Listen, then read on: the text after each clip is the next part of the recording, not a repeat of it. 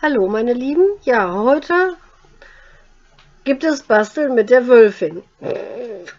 Und zwar, wir basteln heute einen Hundepullover.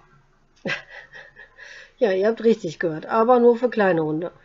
Also von der Größe her zwischen 5 und 8 Kilo und ähm, von der Rasse her würde ich sagen so Cane Terrier, Yorkshire Terrier, ähm, wie heißt sie noch? Jack Russell Terrier, sowas. Ja, und zwar habe ich nämlich ähm, diese wunderschönen Loom-Schals bei, wo war das denn, bei Teddy entdeckt.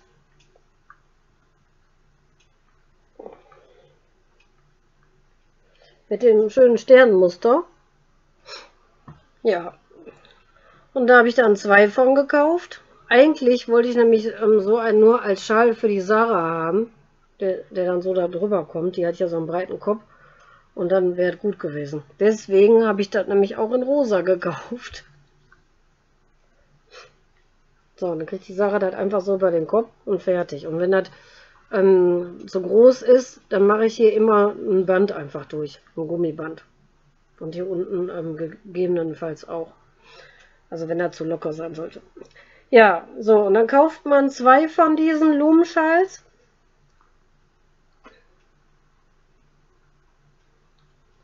So, und dann macht man das so, dass die, hier ist um, so, ein, so eine Naht, die muss in der Mitte sein. Sonst ist nämlich hier nirgendwo eine Naht. Das ist die einzigste und die machen wir in der Mitte, das ist dann von unten drunter. So, und bei dem genau das gleiche, dass das in der Mitte ist, aber wir machen das jetzt auf links, weil wir das hier zusammennähen wollen. Also ich nähe das jetzt nicht vor, ich zeige euch nur, wie ihr das nähen sollt und zeige euch dann an einem fertigen, wie das dann aussieht.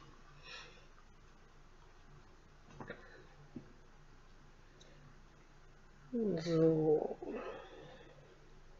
Ach, hier muss ich das Schild noch abschneiden. Ja, hier muss man noch das Schild abschneiden, weil das den Hund stört. Hier habe ich das Schild schon abgeschnitten.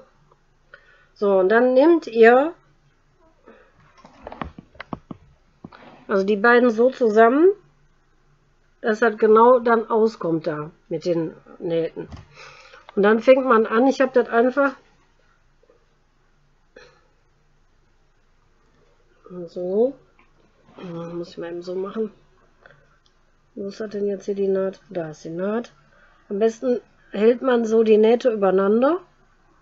So, und dann legt man das hier so drauf und dann näht man. So, dann kann man einfach nämlich so nähen. So, und dann sieht das nämlich so aus. So, hier ist schon das ganz komplett fertig genähte. So, so sieht das dann aus. Ich kann jetzt nicht so super toll nähen, ne? deswegen ist das jetzt hier nicht ganz hundertprozentig gleichmäßig. So, aber man hat dann hier so einen Rand. Und das ist nämlich das nächste, was wichtig ist, dass das ähm, nach hinten hingeht, der Rand. Also diese Klappe hier in Anführungsstrichen. Das geht dann nach unten, das wäre dann die untere Seite und das die obere Seite. Ja, wenn man das dann ähm, fertig genäht hat, dass sie zusammen sind, macht man die wieder auf rechts. Also die hängen ja dann zusammen. So, jetzt nehme ich das fertig genähte und zeige euch das. So, hier, wie gesagt, so sieht das dann aus. So, und das wäre dann oben. So, damit hier oben nämlich nicht so ein, dass er zu locker und so weit ist für einen kleinen Hund. Der hat ja nur mal nur einen kleinen Kopf habe ich dann hier, wie ich ja vorhin schon gesagt hatte, für die Sarah ein Loch reingemacht. dann muss ich mal gucken, ob man das sehen kann. Da guckt Kamera, kann man das sehen, da. Und dann habe ich nämlich hier so ein Gummiband. Das sind diese Dinger, die man auch für die Corona-Masken hier für die Ohren da nimmt, diese Gummibänder. Dann macht man dieses Band knotet man an, der, an die Rückseite von einer Sicherheitsnadel fest. Und die Sicherheitsnadel, die darf natürlich nicht zu groß sein, zu klein aber auch nicht. So, und dann schiebt man die hier durch. Durch das Loch. Und dann zieht man die so hier einmal so durch, bis er dann wieder hier rauskommt. So, und so kriegt man nämlich den Faden dann dadurch, also das Gummiband. Ja, und ich habe jetzt hier so einen doppelten Knoten gemacht, dann kann ich hier unten einfach so dran ziehen. So kann man das besser sehen. Und dann kann man den wieder ganz leicht auseinander machen. Falls ich die Größe mal verstellen muss, dass es zu locker oder zu stramm ist. Ja, man kann eigentlich auch diese, ähm, wo man so draufdrücken muss, dass er dann fest ist, eigentlich nehmen, aber ich habe das jetzt ja hier unten gemacht, wo auch das, also diese Naht ist, also von innen. Das heißt, der Hund hat das hier unten drunter. Wenn er das jetzt hier oben am Rücken hätte, wäre das nicht so schlimm, weil das da nicht ganz so stört. Aber hier unten drunter stört das schon mehr. Und ähm, deswegen habe ich nur ähm, Knoten reingemacht. So, da müsst ihr dann darauf achten, wie stramm das sein soll, nicht zu stramm. So, das soll so sein, dass der Wind nicht reinkommt, aber nicht zu stramm, dass der Hund keine Luft mehr kriegt oder dass er so richtig stramm ist. Also er soll locker sitzen, dass, ähm, dass das angenehm für den Hund ist. Ja, dann muss man ja, ich zeige euch jetzt mal ein anderes Mäntelchen, ein altes, muss man ja ähm, die Löcher für die Füße, für die Vorderpfoten da ähm, freischneiden. So, so sieht ein altes Mäntelchen vom Jackie, ach, Pulloverchen, vom Jackie von hinten ähm, aus. Hier sind die Arme. So, und weil das ja ein Rüde ist, muss man das hier unten dann auch noch freischneiden. Wenn man ein Weibchen hat, braucht man das nicht. Da muss man dann gucken, bis wohin das geht mit den Hinterbeinen. So, und ich habe das dann auch gemacht. Ich habe das daneben gelegt und habe mir das dann aufgemalt, wo die Armlöcher hinkommen. So, und dann sieht das so aus. So, das habe ich jetzt noch nicht vernäht. Das werde ich alles noch umnähen. Ich habe das jetzt extra noch nicht gemacht, um euch das zu erklären. So, hier, das ist jetzt doppelter Vlies gewesen. Man muss dann den unteren Stoff und auch den oberen, muss man mal einmal kurz mit dem Feuerzeug abflemmen. Dann ähm, kann der Stoff nicht ausfransen mit der Zeit, vor allen Dingen, wenn der oft gewaschen wird, weil die Hunde machen sich ja auch mal dreckig. Gerade die kleinen Hunde, wenn die Wiese nicht gemäht ist und die Wiese dann höher ist, die kleinen Hunde, die ne, haben den ganzen Dreck dann unten drunter. Ja, und dann flemmt man das ab, aber ganz vorsichtig, weil ne, da kann man ganz schnell sich Löcher reinmachen. Also nur mit einer ganz kleinen Flamme und ganz schnell so drumherum. Aber das muss man getrennt machen. Einmal das untere und einmal das obere. So, und dann wird das hinterher nochmal vernäht. Das schlägt man dann so um und dann wird man das nochmal einmal so drumherum nähen. Damit das ordentlich aussieht. Ja, und so sieht das jetzt hier ähm, bis jetzt aus mit den ähm, Löchern. Ich musste hier auch noch was verändern. Ich hatte die nämlich ein bisschen kleiner, aber da war der, der Steg hier in der Mitte war zu breit und dann ähm, konnte der, der konnte laufen, aber das hat den hier, war da zu eng und hat ihn hat gestört und dann musste ich das ein Stückchen kürzer schneiden, damit der dann hier mehr Armfreiheit hat beim Laufen. Da müsst ihr auch drauf achten, weil jeder Hund ist ja anders von der Größe her. So, ja, so sieht er dann hier unten aus, dieses zusammengenähte natürlich. So, und dann habe ich ja ähm, das untere Stück hier abgeschnitten, weil ich habe ja ein Rüde. ja, und da habe ich einfach nur die eine Hälfte so aufgemalt, wie so ein Bogen eben.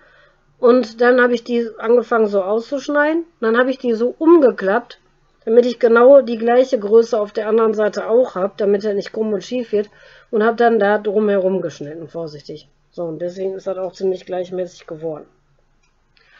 Ja, das nähe ich auch noch um. Also hier, das muss auch alles ähm, abgeflimmt werden. Habe ich natürlich schon gemacht, aber das müsst ihr dann auch noch alles machen, damit nichts ausfranst. So, dann wird das einfach hier wieder so umgenäht, so eingeknickt, vorsichtig. So, damit er dann ordentlich aussieht. So, dann näht man einfach nochmal drumherum. Ja, und ne, ich recycle ja mal alles. Ich schmeiße ja nichts weg. So, dieses Stück, was ich jetzt hier unten ausgeschnitten habe, habe ich jetzt für vorne als Tasche drauf genäht.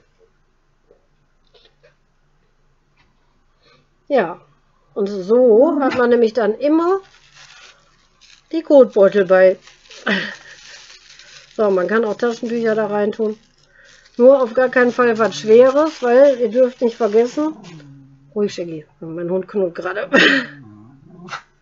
Komm mal hier hin. Komm mal hier. Komm mal hier. Da ist er. Da ist er. Ja. Ja, der hat auf jeden Fall schon Spaß mit dem Mäntelchen, Pulloverchen. Ja, also da nichts Schweres reintun, weil ihr dürft nicht vergessen, das ist der Rücken. Also das Rückgrat vom Hund. Und wenn hier was Knubbeliges, Hartes drin ist, da tut dem Hund weh. Und je nachdem, wie schwer das ist, ähm, ne, ähm, ist das für so einen kleinen Hund ja auch nicht so angenehm. So, deswegen Taschentücher kann man reintun, auch ein Paket Taschentücher. Das ist jetzt nicht schwer und das ist jetzt auch nicht unangenehm. Und wie gesagt, die Kotbeutel kann man da reintun. Ja, aber auf gar keinen Fall Haustürschlüssel oder so. Das kann natürlich auch verloren gehen, also die Taschentücher oder die Kotbeutel nicht. Aber wenn man ja jetzt was mit Gewicht hat und je nachdem wie der Hund so mal rennt oder so, dann kann das rausfallen. Deswegen auf gar keinen Fall. Und Schlüssel können ja auch wieder im Rückgrat vom Hund reinpieksen.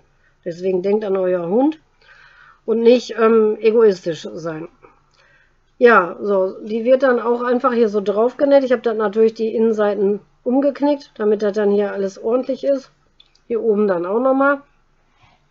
Ja, und so sieht das dann von innen aus. So, und wer, wenn das hier zu locker ist, der kann hier ein Stück vom Klettverschluss dran nähen und hier dann auch. Und dann kann man das noch so zumachen. So. Oder am Knopf.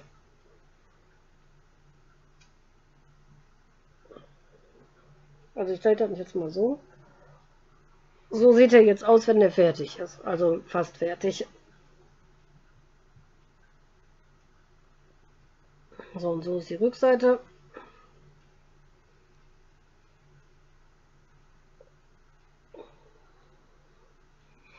Ja, und dann hat man einen ganz tollen und dann mit so einem wunderschönen Sternchenmuster, jetzt auch noch zur Weihnachtszeit langsam. Passt das ja. Und vor allen Dingen, ich ziehe den ja meistens dem ja nur nachts an, wenn das kalt ist.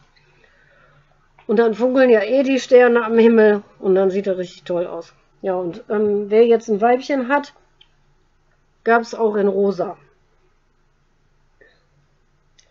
Und zwar bei Teddy. Ich weiß aber nicht, ob es die immer noch gibt. Die habe ich vor zwei oder drei Wochen gekauft. Für 2 Euro pro Stück. Das heißt, man hat nämlich dann ähm, ein Hundemäntelchen, also Pulloverchen, für 4 Euro. So, für 4 Euro kriegt man nirgendwo einen, auch nicht gebraucht. Weil der hier vom Shaggy, der schwarze, der ist gebraucht. Der hat hier sogar noch so Glitzer drauf. Den habe ich aus einem Tierschutzladen und selbst für den habe ich, glaube ich, 4 Euro, ne, 5 Euro, glaube ich, noch bezahlt. Weil nämlich die gestrickten, die sind im Zoogeschäft auch richtig teuer. Die kosten irgendwie 20 Euro. Ja, und was wollte ich noch sagen? Ach ja, und dann hier die, die, ähm, die grauen. Die rosanen sowieso. Ich hatte nämlich gestern, weil es schnell gehen musste, dem Shaggy hatte ich das schon angezogen. Da habe ich die Tasche noch gar nicht da drauf gehabt, aber ging ja natürlich auch. Man muss jetzt nicht eine Tasche hier drauf nähen. Wenn man jetzt nicht so gut nähen kann oder nicht so eine Lust hat, ähm, das sieht auch ohne Tasche schön aus. Ich habe das jetzt nur gemacht, weil ich hier den Stoff nicht wegschmeißen wollte. Ne, also kann jeder so machen, wie er möchte. Ja, und dann ähm, hatte ich die Leuchtis noch an den anderen Hundeleinen dran. Und die Sarah hatte ihren gelben Regenmantel an. Ja, und das leuchtet ja sowieso. Und der Shaggy hatte dann dieses Graue an und das Graue konnte ich auch sehr gut sehen. Weil sonst, der ist ja pechschwarz, da sehe ich ja nichts, wenn, der, wenn es draußen dunkel ist. Der läuft vor mir her, ich sehe ihn trotzdem nicht. ja, und die Sarah, die sehe ich besser. Aber manchmal sehe ich die auch nicht, dann ist sie auch wie getarnt. Weil die ja die schwarzen Streifen hat. Und jetzt mit den Herbstblättern verschwindet der Hund nämlich dann auch. ja, ja, das wollte ich nämlich euch mal erzählen, wie einfach, schnell also das hat ja nicht lange gedauert, das Ausschneiden ähm, und hier zusammennähen. Wie schnell man dann ähm, für sich dann, für seinen kleinen Hund, mal schnell einen Hundepullover fertig hat. So, und wenn man nämlich nicht viel Geld hat, so wie ich auch, dann kann man sich was richtig Tolles machen, was dem Hund passt, was schön aussieht und was keiner hat. So, und ihr könnt ja auch mal gucken, es gibt ja noch andere Farben, Blumenschals, aber was wichtig ist, ihr müsst auf die, den Durchmesser hier achten. So, am besten messt ihr den ähm, Brustumfang von dem Hund aus. Mit einer Schnur am besten. Die, und dann schneidet ihr da ab, wo das dann ähm, aufgehört hat. Und dann nehmt ihr die Schnur mit ins Geschäft. Und dann wickelt ihr die Schnur hier einmal so, so drum. Und dann rechnet ihr aber noch 4 cm dazu, weil der Hund braucht noch ein kleines bisschen Luft da drin. Und das zieht sich zwar, aber jetzt auch nicht, wer weiß wie. damit man eben das vernünftig an- und ausziehen kann. Weil wenn das so stramm ist, dann ähm, kriegt man den das gar nicht an. Und wenn man den das angekriegt hat, dann kriegt man den nicht mehr aus. Dann müsste man das zerschneiden, das wäre ja zu schade. So, deswegen immer so ähm, drei bis vier Zentimeter Luft lassen. Ja, mein Hund hat ja so zwischen 7 und 8 Kilo immer, ist ein Cane Terrier und ähm, wie gesagt, passt dem hervorragend. Ja. Ja, und jetzt werde ich dann nur noch hier nachher noch vernähen, hier unten das alles. Dann ist das alles ordentlich und dann ist das Ding fertig. Ja, und besser geht es doch gar nicht. Für so wenig Geld. Ja, ich hänge Fotos dran, auch mit den Maßen. Nochmal so Schritt für Schritt. Und dann ähm, wünsche ich euch viel Spaß beim Nachmachen. Bis zum nächsten Video. Tschüss.